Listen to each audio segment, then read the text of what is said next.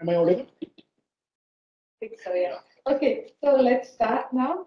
Um, gives me great pleasure to welcome Snehanshu Saha to IIA. He's uh, uh, not a unknown person here. He's been coming here for many years, collaborating with me, uh, Jayant Murthy, Margarita, and others. And so I, but I think this is the first time, right, that you're giving a talk here. um, so let me introduce him formally.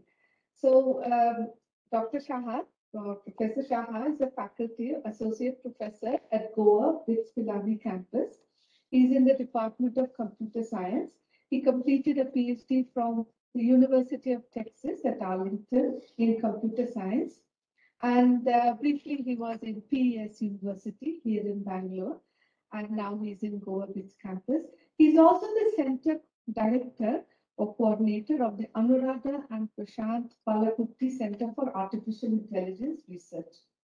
Uh, So um, Snehanshu is the, the expert whom I always turn to for machine learning and all kinds of artificial intelligence related to data. And I'm really looking forward to this talk. Thank So you. Thank you. Thank you, Ashwati. Thank you very much for the nice introduction. So, um, you know, all these AI guys like us who are, you know, artificially intelligent and naturally stupid, um, here's something. Um, so, uh, there's a little bit of history as we go at, um, as, as I get into the top, main topic of it. At the same time, I'd like to tell you that because of the um, diverse nature of the audience, um, I'm not going to get into the nitty gritties of the algorithms per se. Rather, I will give you the founding snippets and the motivation of the algorithm and how we applied it to um, different problems. So as you can see, um, I had collaborators in this, one of which is Margarita Safonova, you know her, and Jyotirmoy as a PhD student who just submitted his thesis, and then Professor Santanu Sarkar, who is right now at ABB Corporate. So apart from Margarita, none of the other three are physicists, right?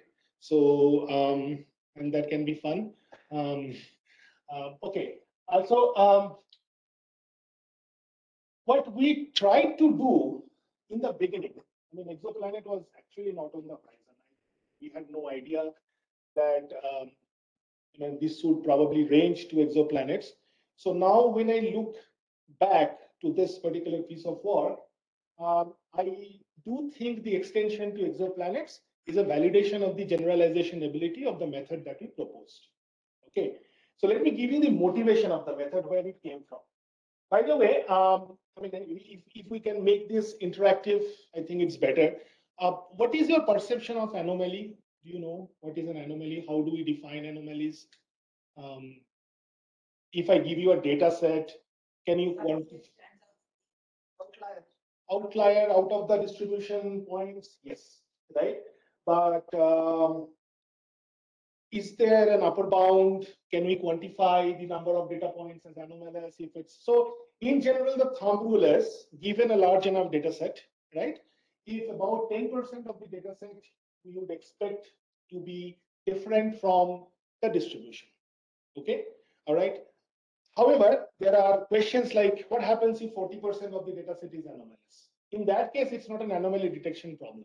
It becomes an imbalance classification problem where you have one class of data points, which is 60% of the data, and the other class, which is 40% of the data set. In such cases, this method will not work. Okay, I'm being upfront about it. Won't work. Um, now, in the social context, I mean, it's just just the social context. Can we um, can we just think a little bit about how anomalies affect us, just in the social context, not in not in this engineering or science, given the way we see journalism around us. Out of the box. I mean, in, in terms of journalism. Okay, I'll give you an example. So here is this. Okay, so here is this guy from this particular university who graduated, right? And his pay package is 1.5 He's a annual. Okay, and you would see institutions advertise that, right? So counter question is: Is that the median salary of your graduating class? No, it's not, right? how many in your graduating class have secured a job of that? The answer would be actually one out of 100. Right? But when you see the news, so that anomaly is projected. So it's just one data point that is projected. Okay. And the problem with this kind of reporting is it violates the statistical principles that anomalous data instances are not anomalous, they're actually a trend. I'll give you another example. Um, Bill Gates is a college dropout. Or this guy, this random guy is a college dropout and now he's a multimillionaire. Okay, turns out this guy is a Harvard dropout, right? Not a dropout from Koramangala Institute of Technology. Okay, and the point is, and then there are also instances in physics, right, where people did not have PhDs but went on and became very good researchers. I think I forgot the names. There are a couple of instances, right? Freeman Dyson, right? But does it mean that, you know, how many in this room is another Freeman Dyson? I don't know, right? So does it mean that we do not require formal training in order to have a successful career in research, right? So those are anomalous data points. So when you teach in the anomaly as a standard or a normal instance, there are multiple problems. So one of the other problems that we make all the time in evaluation, because that's our trade, right? Um, so let's say in this room, we are in this room and all of us are drawing some form of salary, hopefully, right? And then this guy, Bill Gates, walks in. Okay, so before he walked in, I could actually compute an average salary, right? And that number would be representative, right? The moment he walks in and I weigh in his salary, add everything up, recompute the average, do you think that the new number that I'm going to get will be representative of the data set in the room? No. Right? So what you should be never doing when you are reporting such things is that the average, right? Because you are treating, and the other thing you should not be doing is to treat an anomalous data instance as a normal data instance. Okay, and there it leads to sort of statistical misconceptions and completely wrong reporting, which is what people do all the time, right? Okay, uh, institutions do it to their advantage when they want to attract students and so on and so forth, right? I mean, I haven't yet seen an institution which reports median salary of the graduating class because that kinds of tells you where the ballpark is. Okay. Anyway, so so these are these are anomalies in the context of as we see it. So sometimes it so happens that in an instance of like 1 million instance in a set of 1 million instances, there are one or two anomalies. Sometimes we have several, right? Uh, in the context of exoplanets, when I come back to exoplanets, you will see that in the context of exoplanets, out of 4,500 instances, about 45 are anomalies. Okay, anyway, um, so how do we, um, so, so, the, so the question is, where did this come from? Okay, so you know where I, where I come from. My background is that we try to solve optimization problems. In fact, I was talking to Swastik before the talk and he was asking me. Um, so here is what, how we evolved. We were first trying to solve a multi-objective optimization problem which was this, that there are bunch of taxis that I need to call. Okay, the pool of taxis, there are bunch of customers, and I'm only considering the purely share riding option. Which pool, pool cab services, whether it's Ola, whether it's Uber, doesn't matter. Now, when I do that as a customer, I have several constraints, right? Like, for example, how long I'm willing to wait before the cab is booked, how long I'm willing to wait after the cab is booked, what is my total you know detour distance etc etc for the cab driver there are several utility objectives that he or she has to fulfill right? I mean if i pick the second customer after i pick the first customer if i pick the second one then how much detour i have to go right? Whether that's a congested uh, road or blah blah blah all that right? And based on that a satisfactory resolution has to be made so that your request is honored. Shared right? So as you can see for both type of users, the customer as well as the cab driver, there are more than one objectives to solve. Okay, so these are non-classical optimization problems where you have multiple objectives to solve simultaneously and arrive at a satisfactory solution. So your solution is never optimal. Like it's not like taking the minima or maxima of y is equal to x square. So that's a classical optimization problem. Okay.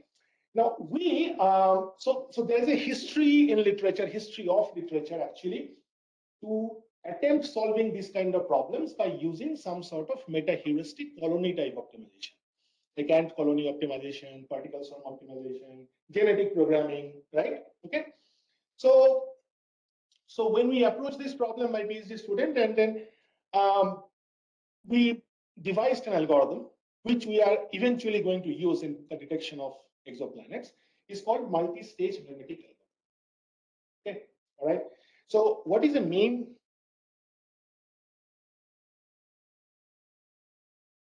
We'll come to this. What is the mean? Anyone? Memetic algorithm came from mean, right? So what is it?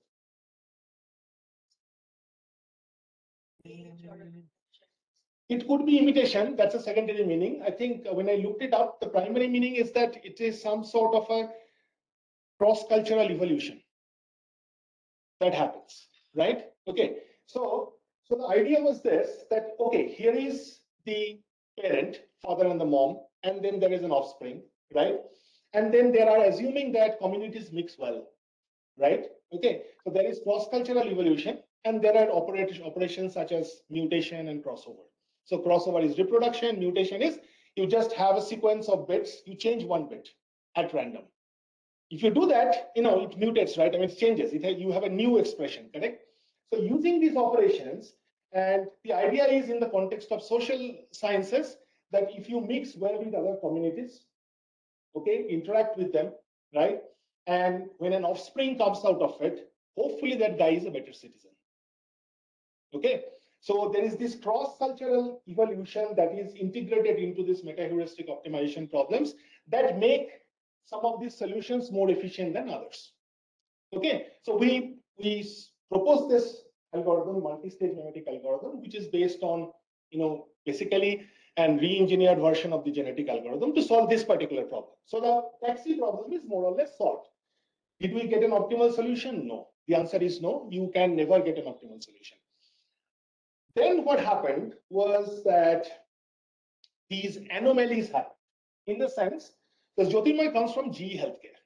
Now, GE Healthcare is a company which makes large industrial grade medical devices, PET scanners, and all that sort, right? And they have huge amount of log data, huge.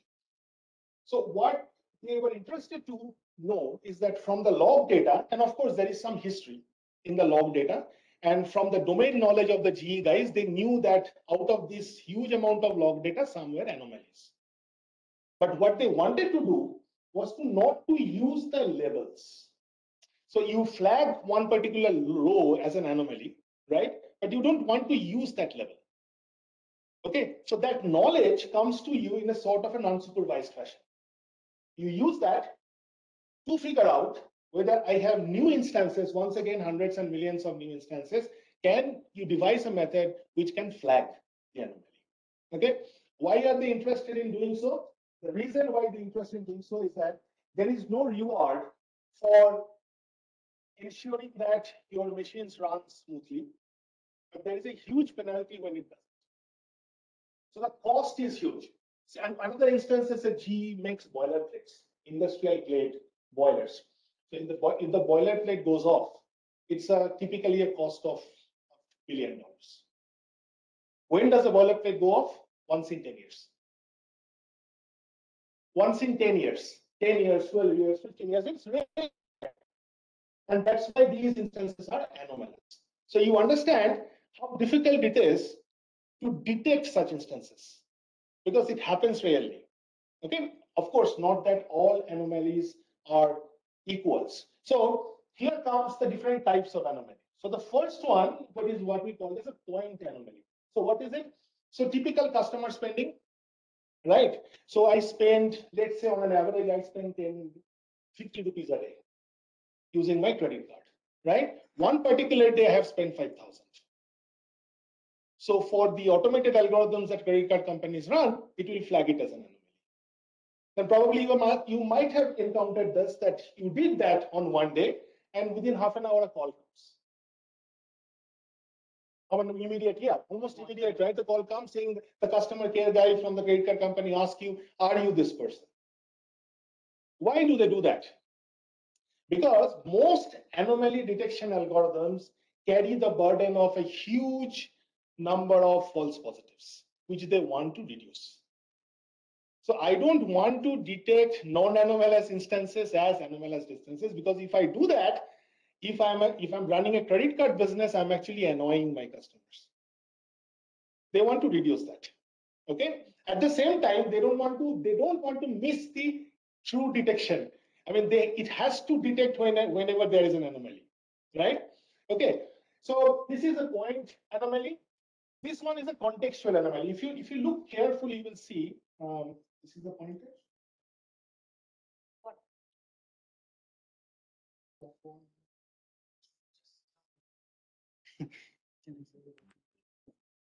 This or this one. Okay. So the point- No, this is this is perhaps my uh, you know clumsiness. So it has nothing to do with it. This is fine. This is working fine. No anomalies. So you can see uh, if you if you follow this trend, right?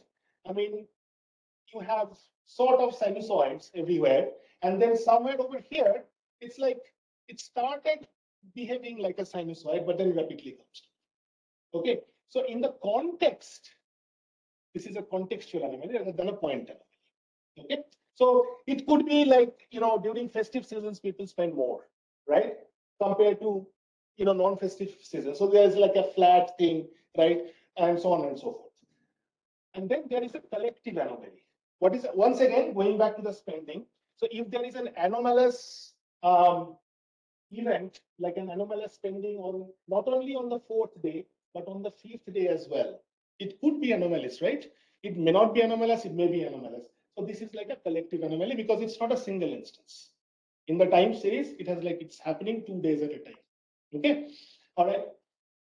Um, there are other things like, for example, intrusion detection cases where you are trying to copy files um, from a remote server to your local machine. So what when you do that, you are actually the uh, let's think of this as a distributed denial of service attack where you are trying to copy multiple files to your home location, home system from a remote location, right? So the entry points to the system are multiple. So it's not a, at, a, at a particular point, but at multiple points. These are different types of anomalies. Um, and as I was telling you, the cost is huge. I mean, in fact, these numbers are not that important. I mean, I am not even sure, um, you know, how reliable these numbers are, but let's say this is a ballpark. Like the cost of not being able to detect anomalous instances is about 13 billion, 13 billion US dollars. Okay, which is a three times jump from, uh, you know, uh, what you what you were, where you were in 2018. Okay. Um, now,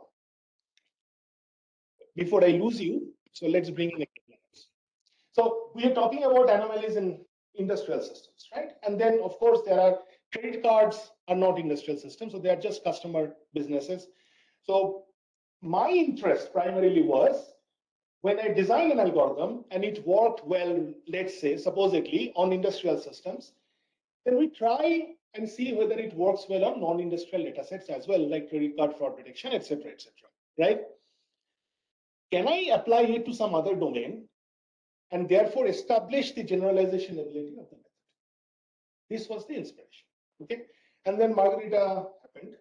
And so we thought all our previous attempts at exoplanet classification based on the PHLEC data were based on supervised approaches, which means what? That I have the catalog, right?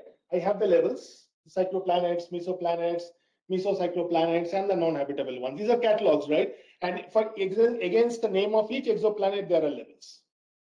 So what you do, you sort of design a classification scheme and try to see if I inject a new entry, whether your algorithm is able to classify it in one of the three classes. The trouble is, these levels are primarily dependent on surface temperature. The psychro and the meso, right? Because that's how these levels are actually done in PHLEC. It follows the temperature threshold. If it's above the temperature threshold or below the temperature threshold, they labeled it. And this was the uh, catalog by Abel Mendez. Um, at the, at the PHLEC. So therefore, what your machine learning classification algorithm should really behave as multiple feature marker, not as just one feature marker. So if you are training your model based on just one feature, you are actually not, your method is, I mean, your, your machine is not learning anything.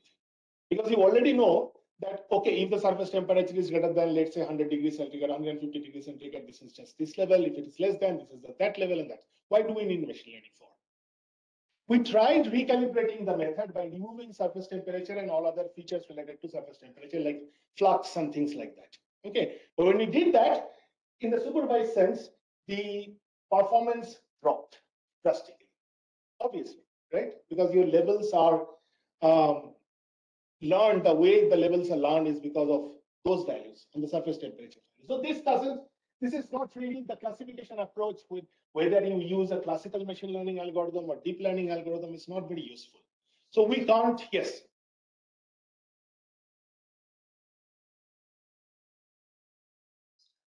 Yes. All the parameters that PHLEC had, I think they're like 68, and we some of those parameters were identifiers, we removed them. So we had escape velocity, eccentricity, and everything. Okay.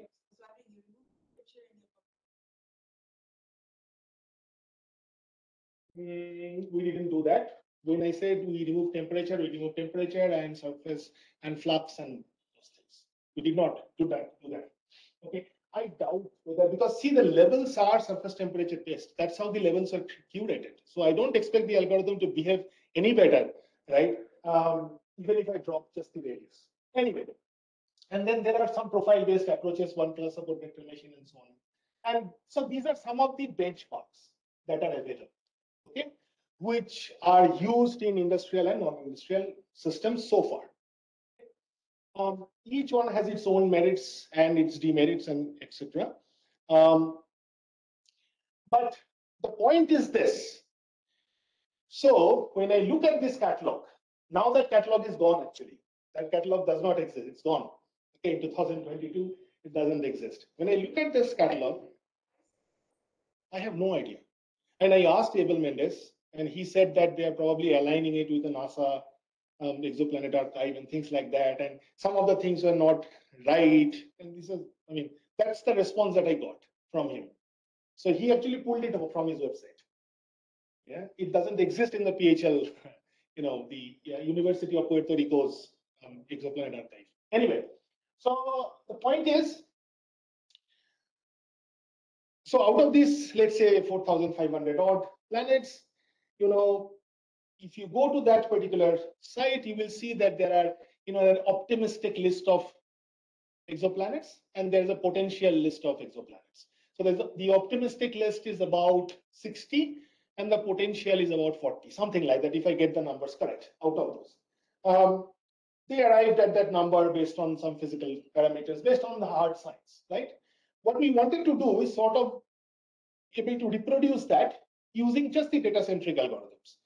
So what we thought at that point was that, okay, look, most of these, when I look at the catalog, most of these are non-habitables, right? Most of the planets are non-habitables, right? The only habitable instance that we know is Earth, where we live in, right? Okay. And maybe there are some potential candidates which may or may not be habitable. Okay. So your possibility of having a set of habitable planets, the ratio compared to the total number of planets is really small. Okay, therefore, can we make an equivalent problem and say that if I detect anomalous instances from the catalog, I'm also detecting habitabilities. It's just a mapping that we did. There is no theoretical proof. It's just a hunch based on which we started working. So, and the reason why I wanted to do this is because I already knew that the detection algorithms, the anomaly detection algorithms are working well on data sets coming from different domains. And this was a data from another domain, right? So let's apply this, okay? So I'm not going to get into the nitty gritty of it, but uh, just so that you get the flavor of how we solve the problem. One is, um, I gave you the example of the taxi problem, right? Where, where what you are trying to do, you're doing a sort of a half-cooked, semi-cooked optimization problem, where you don't get to the exact solution, but you get to a good enough approximation. That is an optimization problem. And now in literature, with some of these some of these methods, like for example, this isolation forest and k-means, these are examples of clustering algorithms. You understand what a clustering algorithm is? How many of you are familiar with clustering algorithms?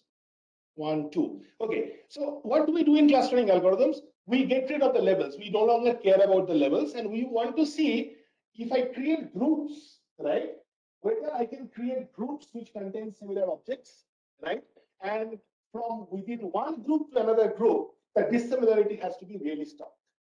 And the way we do that is we use some quantitative measure of some sort of distance functions, like Euclidean distances, you know, Minkowski distance, or Mahalanobis distance, whatever, right? Okay, there's a standard way of doing that. How many clusters to form depend also once again from the domain knowledge, and we try to avoid an even number of clusters. We do always try an odd number of clusters and so on and so forth. So that was in our mind if you really think about clustering algorithm, do you, do you think that there is a relationship between optimization and clustering?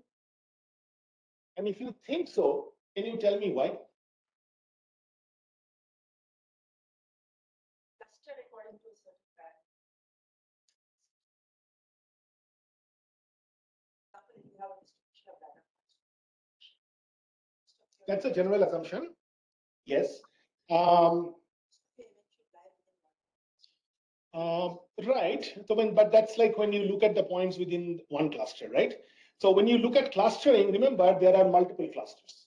So between the clusters, there is variance, correct? Hmm?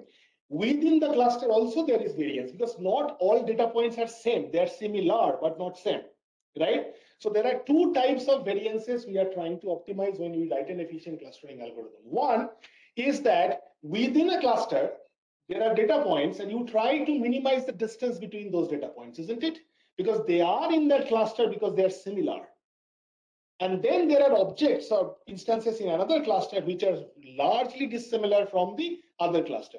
So what typically we do, we try to find the centroid of one cluster, try to find the centroid of the other cluster, and we see that we make sure that these distances are as large as possible. So simultaneously, we are solving a minimization problem and a maximization problem. This is once again a non-classical optimization problem. Okay, and very, very similar in nature to the kind of taxi problem that they were trying to solve. Okay, so here is once again, since we are able to solve that taxi problem using that multi-stage memetic algorithm, I can I bring this in into this context, right? And then there are data points which belongs to cluster one, cluster two, cluster three, and then there are odd guys, right, which do not belong to any cluster. And those are the guys we mark as anomalies. Not as simple as that, because before doing that, we also have did we used and leveraged a dynamic binary anomaly tree structure, right, where all the clustering happened on the trees itself, right? Um, that's for the um, in, in an engineering side, you may uh, may ignore that. So we call that a binary anomaly tree.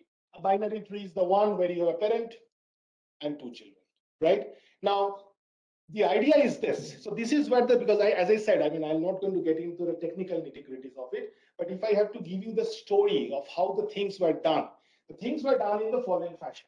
Because you have a pool of data, right? So I throw all the data at you. So like 4,500 plus exoplanets, right? Okay, I store all of them in the root.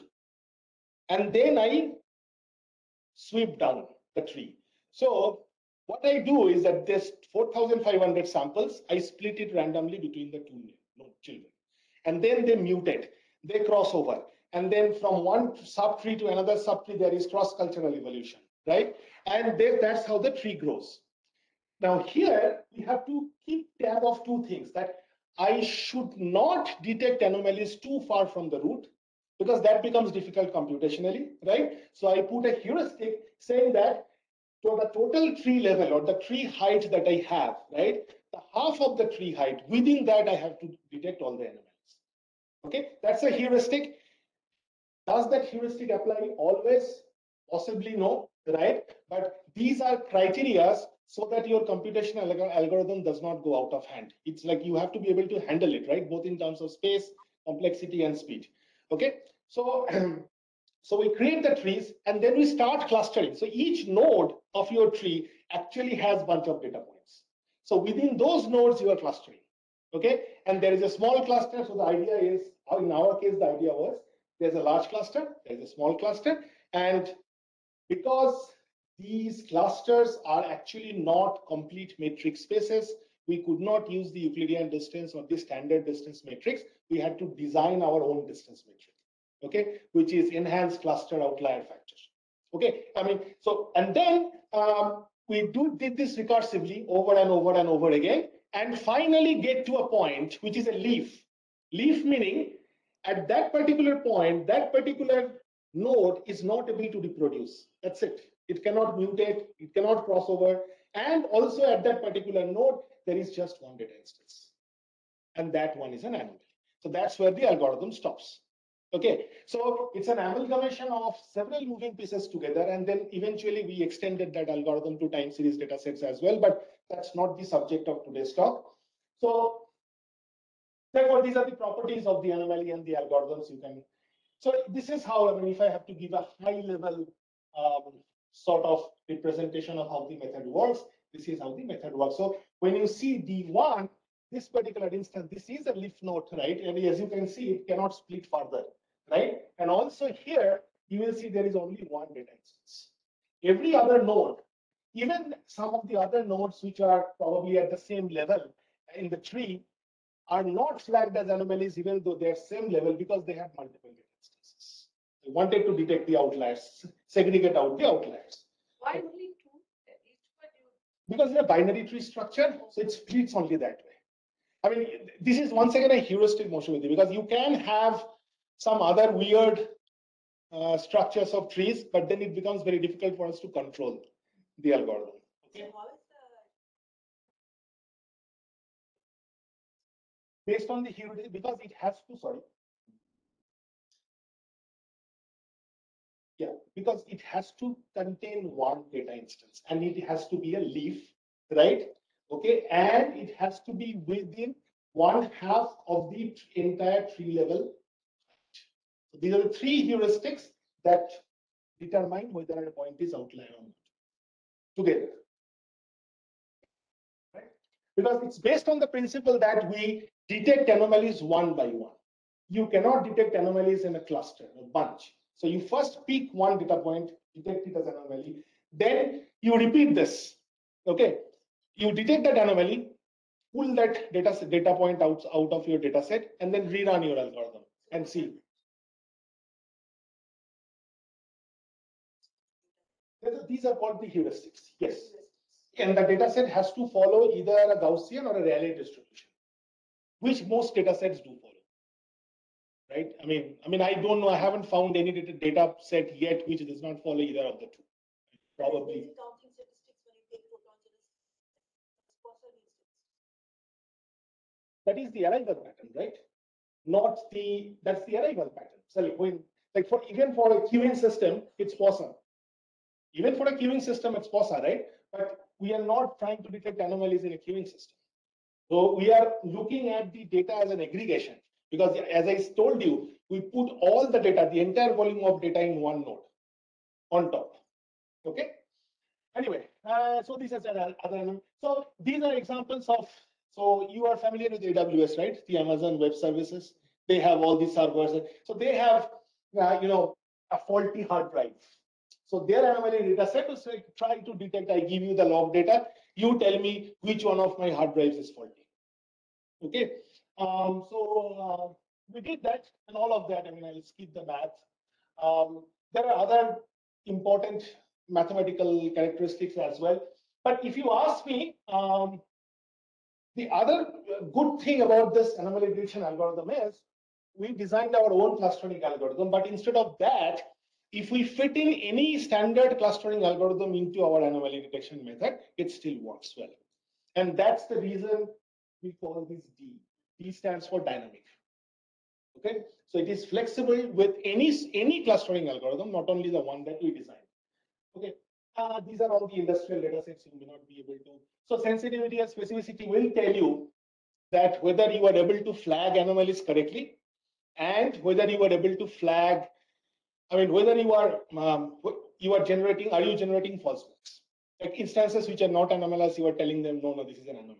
Okay, by both parameters, our methods are state of the art. Okay, irrespective of more or less, as I said, as you move along this, so this is one clustering algorithm not written by us. This is another clustering algorithm not written by us. This is another clustering algorithm written by someone else. So instead of our method, if we plug in any one of these three clustering algorithms, the performance remains similar. So this was the benchmark which gave us the confidence to take that method to other data sets. Okay, and we applied it on credit card data sets and bunch of other stuff, and then you know, I'll skip that. I already told you this. Um, I'll just take you straight to the results. Hmm. Yeah. So you can see, um, we applied this to the last one. The last one is the one that is multi-stage memetic binary tree anomaly identified MSMBTI. This is the one that we proposed. Okay. Now, what happens was, um, so when we, so this is based on the EC block score, right? Um, these are the ones not defined by us. These are these are actually clustered purity matrices defined by someone else. But when we compared, we thought we will use that as well. But when I when I take this EC block or some other other methods, uh, what we see is that when we compare it to other methods, the scores vary rapidly. Like it starts from eight and goes all the way to 1600. So we determined based on the smallest range of variation for the anomaly score, right? And if you look here, you will see you compare the last row. So this is the range is from 14 to 664, right? Compare that with others. The ranges are much higher. So this is a measure of the statistical confidence that you will be able to detect anomalies. Okay. Now there are two sets of data. The first was the original data set which was already there in the PHLEC, right? But then when we looked at the data carefully, there are a bunch of data points where the gravity, you know, density, escape velocity, these were not there. Okay, so we deleted those data points and then we curated another data set which we call as D2, and that data set has 706 exoplanets on it.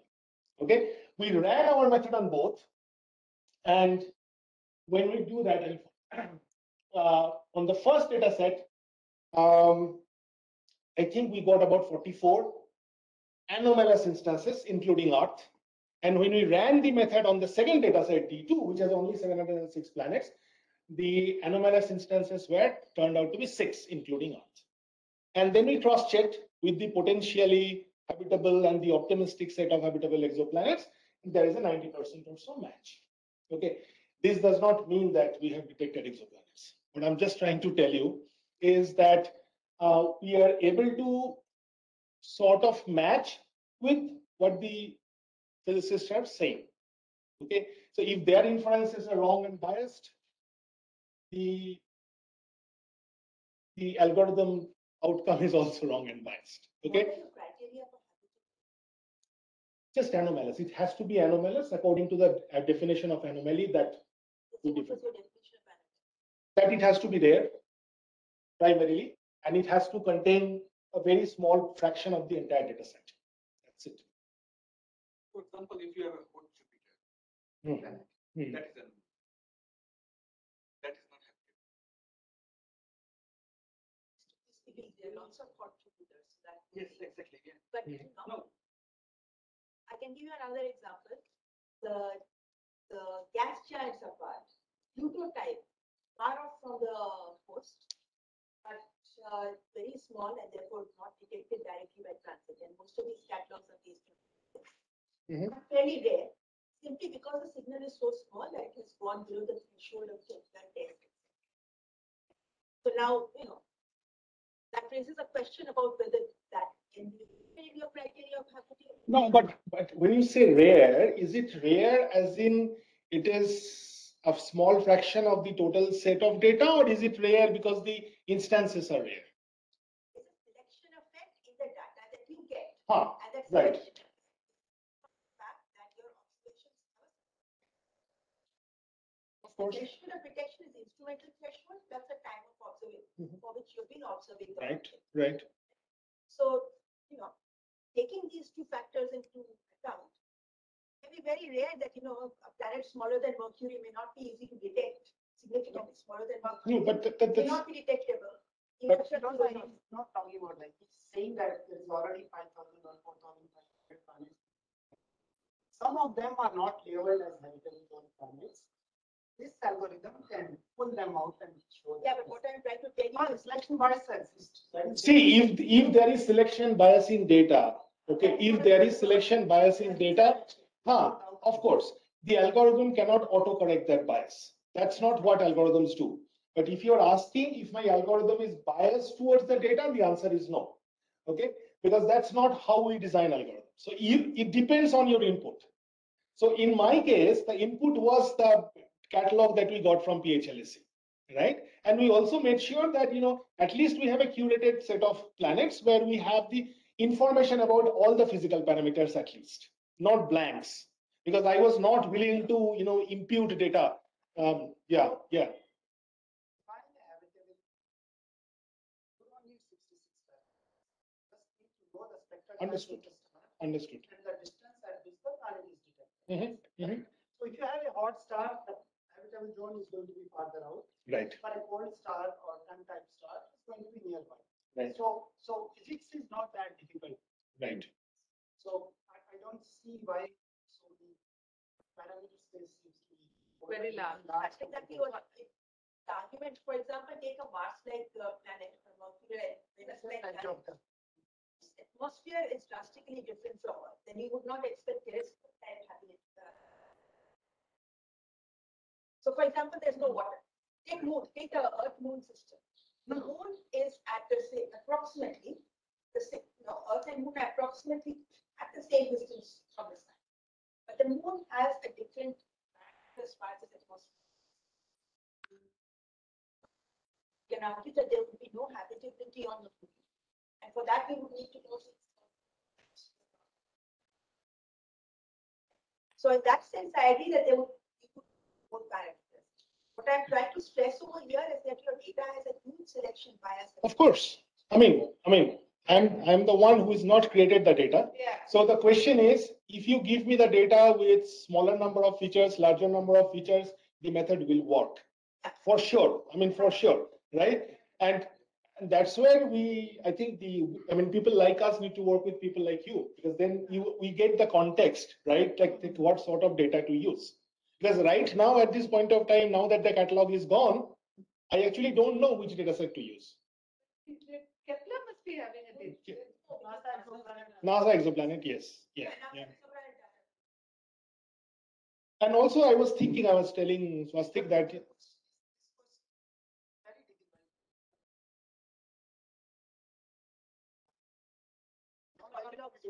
But I'm not saying that, right? My algorithm is not saying whether it is within the habitable zone or not. What it's saying is, can it, what, what my algorithm tries to do is to pick instances which are rare statistically from the rest of the population. So what you said is any kind of anomaly in these parameters that is detected. Yes, just Yes. assuming that it's Yes. there. It's rare. Yes, I'm not detecting, my algorithm does not detect per se whether it is within the habitable zone or not. No, that's not what we are doing. We're not doing that. That is more probable. Not just all. So it's like a, it's like a, you can give a probability score to each one of these detected instances. It's a purely statistical exercise. So when you say my hard drive is faulty, right? You don't know anything about that. You just, you just pick the odd guy out by, by doing the statistical, uh, you know, by analyzing the statistical distribution. Whether you have a set of like four features or 40 features doesn't matter, it matter. The method will work. So that particular parameter in question, we are not using it.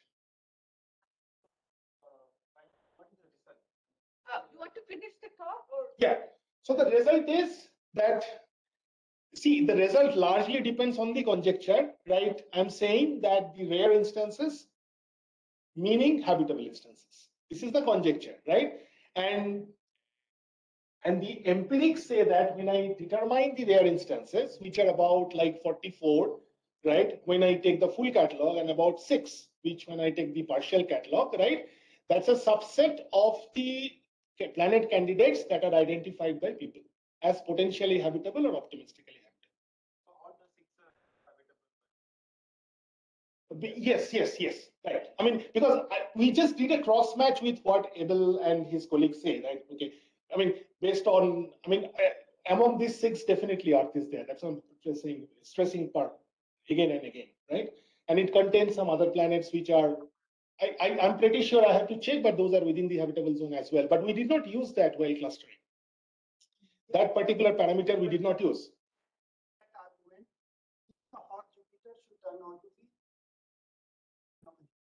The.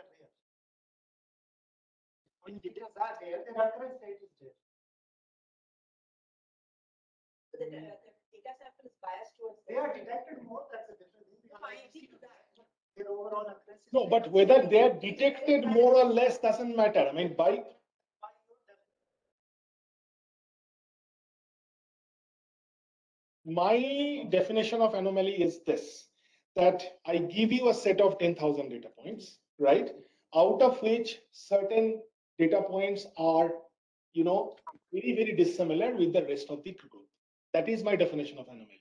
Yeah, but then there are so many several parameters that, planet, parameters which would be completely, like eccentricity if you take. Mm-hmm. How many you got with, let us say, 0.9? But we do not measure anomalies based on one feature only, right? I mean, that's not, that's not how, that's not how the data-centric algorithms work. We measure anomalies based on multiple features. It's a multivariate distance that we compute all the time. So-.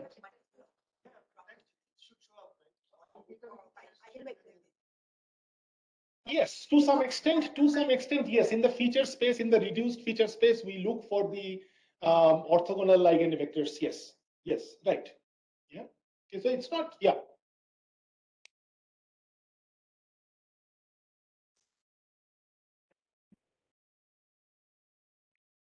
Example,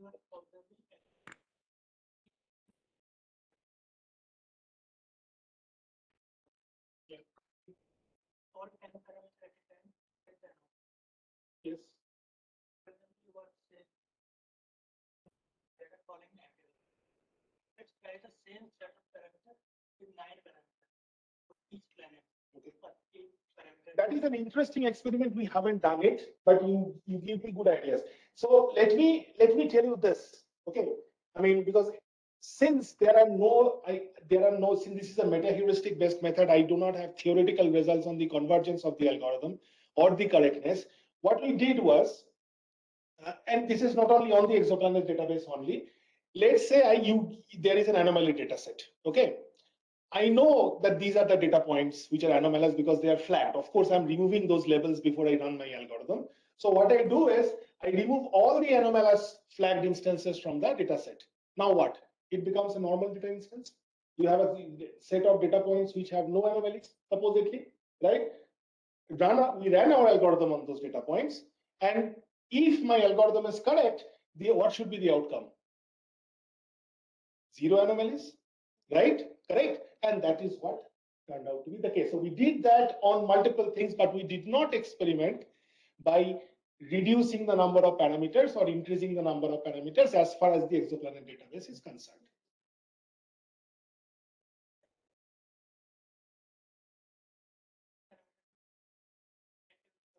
So you can do a weighting scheme of the parameters, right? While defining, while defining the EC block, which is basically a distance, semi-metric distance between two data points, you can do that. That's fine. We can, you can do it. I mean, that's easy to do. Like even for Euclidean distance, that's the same problem that we encounter, right? So people use weighted Euclidean distances. And people sometimes use Mahalanobis distances because they do not capture the orientation in the feature space correctly. So that's how different distance measures exist. Yes. Oh, Vagesh was also asking a Yes. question. My question is, it asked, so how your is uh, behaving with the number of data points compared to number of anomaly? Rather than having multiple parameter and reducing the number of parameter, let's see, you have a large number of data set and multiple anomaly in that, and then you have a small number of data set. Oh, excellent. Both cases, yes. So since we detected, that's the whole purpose of generalization ability, right? That's the test bed of generalization ability. So when we do this, typically in machine learning, what we do is we start with small data sets, right? Start with small data sets, small anomalies. The large data sets, small anomalies. Large data sets and slightly, sorry, slightly larger number of anomalies, right? So we did that. So the different data sets, like for example, the AWS, it has like four anomalies in 1.5 million instances, right? But the Yahoo data set has about 3000 data instances, if my memory serves me right, and about 23 anomalies. So these are not uniform. And the good thing for us is that because since we did not create the data sets, the heterogeneity of the data set was a given. Because you applied, took the data sets from industrial systems, you took the data sets from non-industrial systems as well, like credit card fraud and other things, spending patterns and so on. So largely, yes. So we also tested on just like we removed all the normal instances from the data set. So then we had a really small data set with like seven anomalies and ran it, ran the algorithm. The algorithm was able to detect not all, because you see it requires some you know iterations and you know uh, recursions, right? But it was able to detect four out of seven, three out of seven, and so on and so forth. line number are 70, 14. It looks less. There are some catalogs which have large number of extra. We can do that. We haven't done it yet, but we'll definitely be happy to do it. In fact, I will give you the see that the code is on GitHub. The code is on GitHub. I'll give you the code. You run it, you know, and let me know what happens. It's pretty simple. Yes. I think Firoza was wanting to ask a question, so Shmiti, About the algorithm itself, can it detect an anomaly and distinguish an anomaly? Now, let me give you an example. Suppose an observer has, the you know, observations of for several years from a certain instrument, trouble is the instrument has degraded over time. And as a result, it appears as if instrumental prop, what could have been an instrumental property at one time can end up being erroneously distinguished as a sky property at that time. Okay. Now, So you were saying, you were saying the noise, Yeah. the noise, um, yeah. So this method is not completely robust to noise, but we can design a distance function which is robust to noise and therefore can alleviate some of the problems that you mentioned. so basically, the observer wants to, you know, pull out observations which are incorrect. At the same time, retain observations which are correctly taken. That's the discussion. See, labels, we cannot do anything, uh, Firoza, because labels, this, this method does not work on label data. It's only worked on unlabeled data. So what I'm trying to tell you is there's only one parameter. So I Okay. told that all of these belong observations are from the same. But they are from, a- you know, they could have been taken when the sky was a little bad, they could have been taken when the sky was a little good. And of course, your CCD is slowly degrading over time in that filter band. As a result, you find that some of the data seems more noisy, some of the images. And of course, there is a possibility that some of the, some values of, sometimes a parameter is labeled, of label is incorrectly. This is because primarily because of the noise, right? Yeah, I get it. I get your question. So to, uh, to, the answer to your question is a par- partial affirmation, okay? Because I know since we are using a bunch of different heuristics to actually appear, you know, arrive at the final anomaly, some of the noise inflicted anomalies would be taken care of. I am not sure whether it will take care of everything. I'll have to get back to you on that. In fact, it will be immensely useful if you send me such a data set, right? And then I'll let me run. And if possible, we need to make, I need to make some alterations in our method as well. But between the precision and the speed up, I think on the speed up side, we are slightly lagging. This is a slightly slower algorithm. So I mean, that's one of the, you know, yeah. Okay, I mean, I think that, yeah, and yeah. Yeah, sure.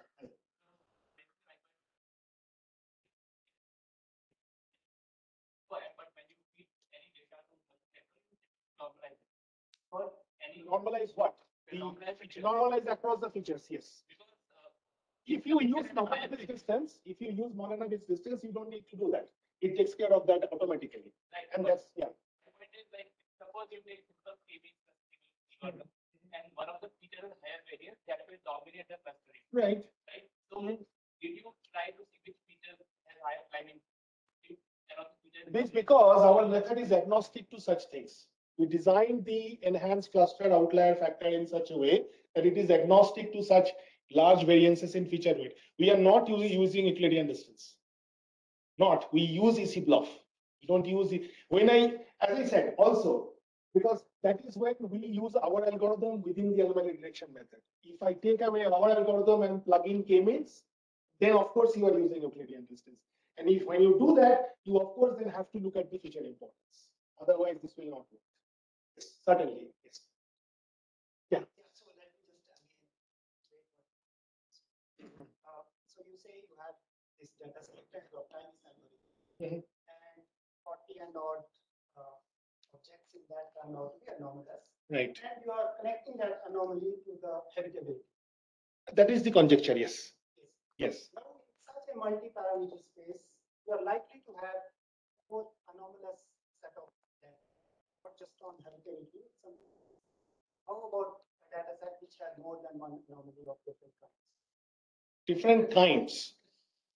Right now, you are only pointing out one, which you are calling it as habitability.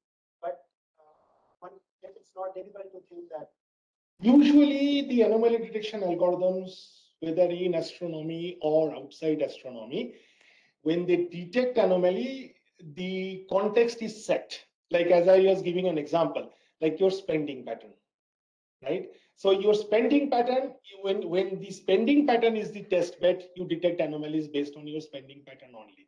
If you add spending pattern and something else, uh, geographic, demographic distribution and things like that, the problem complexity exponentially increases.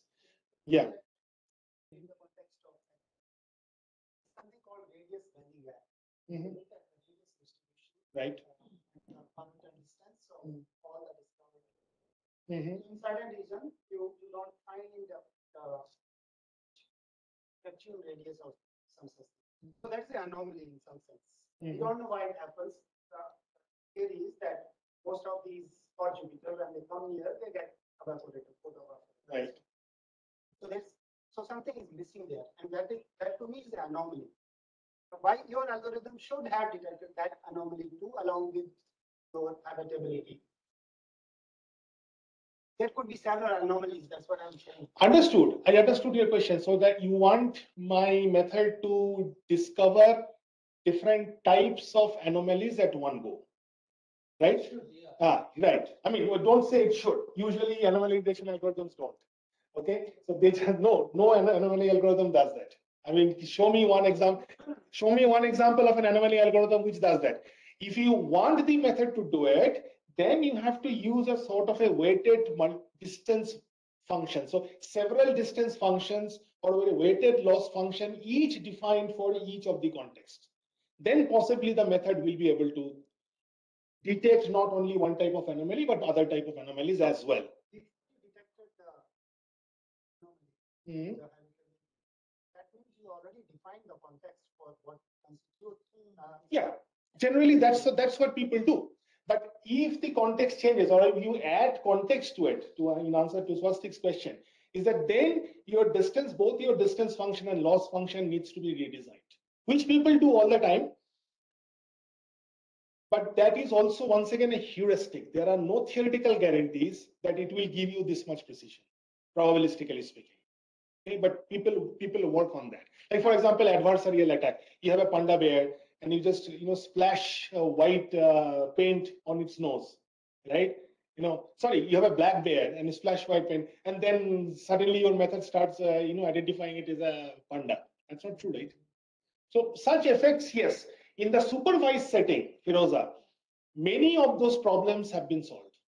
I mean, on the, but the noise problems, but in the unsupervised solve setting, it's much more difficult to solve. So when you supervision, what, how do you? Supervision means, There can be an external text. No, no.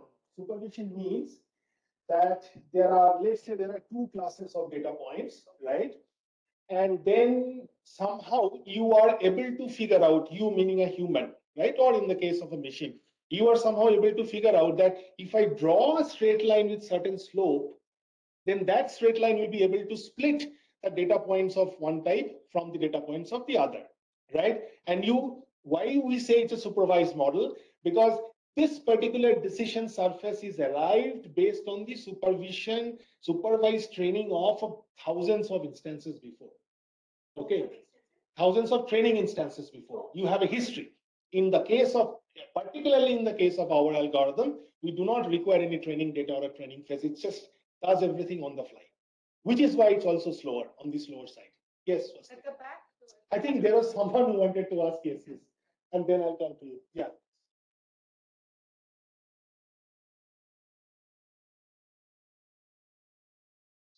I'm not a physicist, so sorry for the confusion.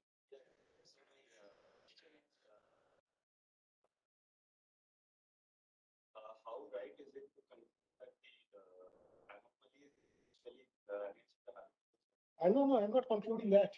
I never said, I never said that this is like a, um, this is like a theorem. What what I'm saying is, I'll repeat what I said twice at least during my talk, is that the extension from industrial and non-industrial anomalies to exoplanets is a test of how well my method generalizes. So what my method does is it flashes out a bunch of anomalous instances I am claiming them to be habitable, okay? And the way I validate my claim is to compare that list that the algorithm flashes out with the list of potentially habitable or optimistic exoplanets. That's it. That's where it ends. Okay, I'm not saying that, okay, because it, no, no algorithm can do that, right? Then you guys come in, the physicist, okay, and add context to it, which is, I think, probably Ravinder was, Ravinder, right? is what Ravinder was alluding to. I mean, if you give us the context, we can recalibrate the algorithm and probably make a more reliable prediction. But in terms of the correctness of the prediction, I'm almost almost sure that it's, you know, from a, purely from a data-centric point of view, the predictions are correct. Because we ran it multiple times, repeated this instance multiple, multiple times, and we compute the mean accuracy and the standard deviation over 50 runs. Okay, and our objective is to have the standard deviation within 0.05 so that you know the, the accuracy that we are reporting at one run is actually sort of has a high probability of being repeated when you run it independently later. Those are some of the statistical robustness things that people have to do anyway. Yes. Yeah, so, um, so you said like you had a criteria like uh, the anomaly detection has to happen halfway. That's a heuristic, yes. Yeah, so uh, I was wondering like what led to that? uh, Ah, that, that- that's a good question. So what we did was when we initially tested on a bunch of data sets, what we observed was a Chebyshev type inequality, which is, which says that, you know, regarding the tree height. Okay. So when we ran the bunch of experiments, we saw that in most of the times, and this is pure empirics, like your, you know, t-test or something, right? We saw that that tree height growing beyond a certain level. So we what we did was we ran this test on bunch of data points and bunch of different uh, instances, and we recorded the tree heights, right? And then we also recorded the average tree height. Okay, and then we saw whether the Chebyshev, what does the Chebyshev inequality say? It says that if you go farther from the mean, right, the probability of going farther from the mean will reduce drastically by one over some constant. Okay, and that's exactly what we observed. After we did several experimentations, now you, you may say, well, this particular thing may change if we do more expectation, possibly, but from the point of view of statistical sufficiencies, we have tested enough, and then we knew that for all the different instances, so we have 15 plus 31, 46 different training sets, like different data sets, which I think is pretty comprehensive, okay, apart from the exoplanet. And out of all 46, when we ran this, we saw that the average height is this, okay? And the departure, standard deviation from the apparent height by a large margin, that probability is 0.05 or even smaller. So that led to this heuristic. Also probably do like you can count how many uh, nodes in that one particular layer, how many of them are single and how many are. like- Yes, I mean, but as I said, even if the nodes are, even if the nodes are single, right? I mean, Yeah, that itself will not be a marker for anomaly because that particular singleton node has to be also within the one half of the tree height. Yeah, Yeah. what, probably you. Very. Well, well, we do, of course. I mean, if, um, probably, you know, this is, this is from the, I mean, from an industry side, is a hot problem. I mean, if you now read the literature, you will see thousands and thousands of, everybody is doing anomaly detection. Okay, I claim that this is state of the art because based on the existing benchmarks, we are doing the best, okay? But however, the best is still, it can never be perfect, right? Any prediction algorithm which tells you it gives you a hundred percent prediction algorithm, I'll be skeptical. I- will not, I will not believe that. It just doesn't happen. Yeah. anomaly detection is statistical. On the data size.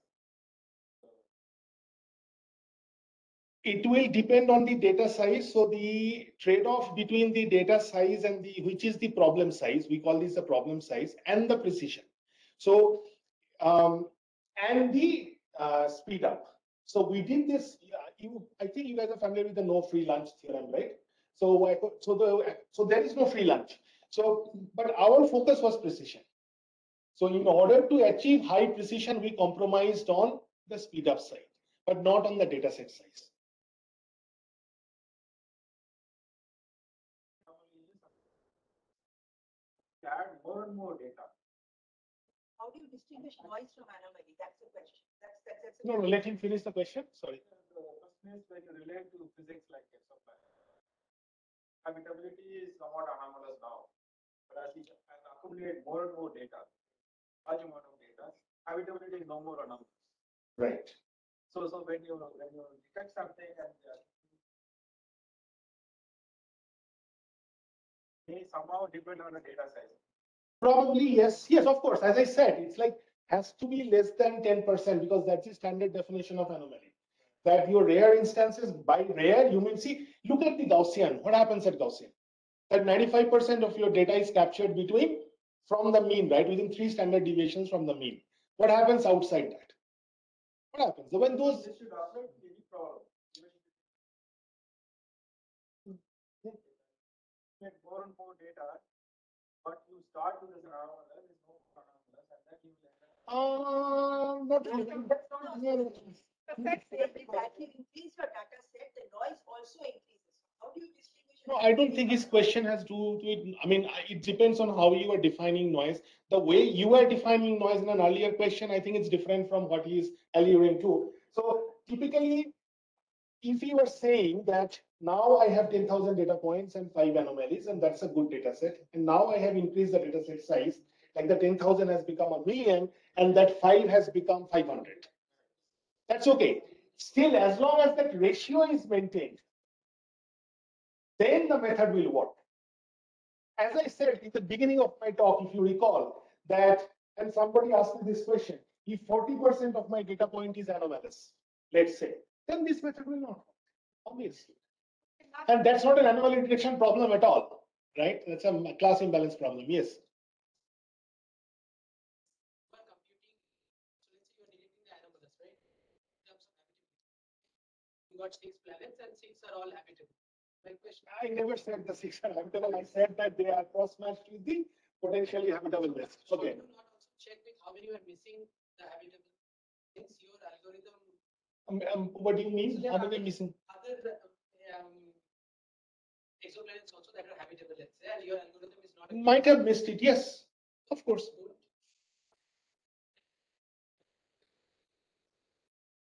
Of course, I should. And that's how I did. So when I reported this particular method, I never said my algorithm is like hundred percent correct. I said my reporting claim was, so this is the set which we found as anomalous and therefore potentially habitable. And these are the potentially habitable list of exoplanets by these and these guys, right? Obviously, there is a mismatch, right? Okay, when I apply this on industrial data sets, my, my metrics and measures are different. When I apply this to an exoplanet data set, my metrics and measures are different. Right? Yes, So you use this automatic distance. Everything, everything that's there, yeah. Mhm. Let's say now, that- that's also you want to detect some other, anom- let's say I want to detect uh, old hot Jupiter. So in that case, my data set will be age. Age, age should be, so can your That's a categorical variable. Yes. Yeah, so that can be turned into a numerical one and then. So your algorithm Oh, yes, both, both numerical and categorical as well, of course. I mean, that is also pretty standard. I mean, everybody does that. There's no big deal. Stop now because it's got quite